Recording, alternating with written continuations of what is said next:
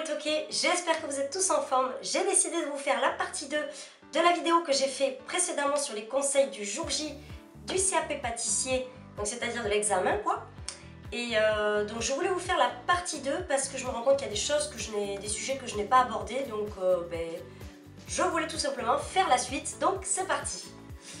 Euh, on va parler de l'hygiène du pâtissier. C'est très important, comme vous avez vu dans l'autre vidéo dont je vous ai parlé, c'est important d'être hyper propre euh, sur absolument tout ce qu'on fait le jour de l'examen. Et notamment là, je vais vous parler de l'hygiène du pâtissier. Donc comme vous le savez, on a une tenue complète avec calot ou toque. Et d'ailleurs dans le petit i, je vous mets euh, la tenue du pâtissier détaillée et absolument tout ce pourquoi vous portez chaque élément de la tenue. Donc dans cette vidéo, je vous parle de tout. Euh, donc tout ça pour vous dire que donc on a la toque ou le calot, la veste, le tablier, le pantalon et les chaussures. Ce qu'il faut savoir, c'est que le jour de l'examen, il ne faut surtout pas s'essuyer sur son tablier parce que ça fait pas très pro et puis c'est sale quoi. Donc euh, vous allez vous retrouver avec une tenue qui est censée être blanche et qui va se retrouver ben, soit tachée de chocolat, euh, tachée de fraises ou de framboises, etc. Donc pour ça, n'oubliez pas de bien vous laver les mains après euh, soit avoir coupé des fruits salissants ou même que vous apercevez que vous avez du chocolat sur les mains, voilà.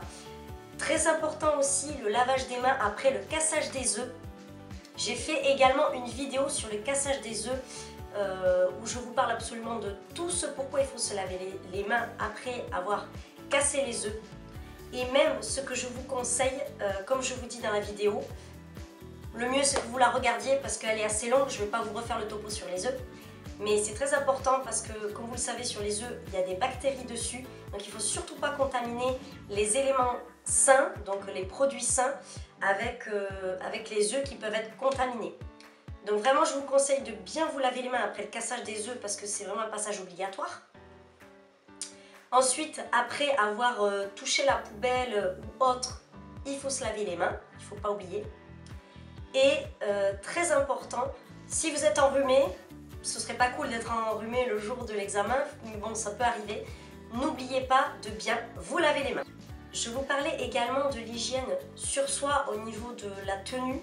Ce qui serait peut-être pas mal, ce serait ben, si jamais vraiment vous n'avez pas pu faire autrement, vous êtes essuyé sur votre tablier, le mieux ce serait d'en avoir un de rechange et pourquoi pas pendant la pause euh, se le changer pour en avoir un beaucoup plus propre. Ce serait quand même une bonne idée pour, euh, pour avoir une tenue assez présentable pour le jury, notamment si vous passez euh, à l'oral l'après-midi.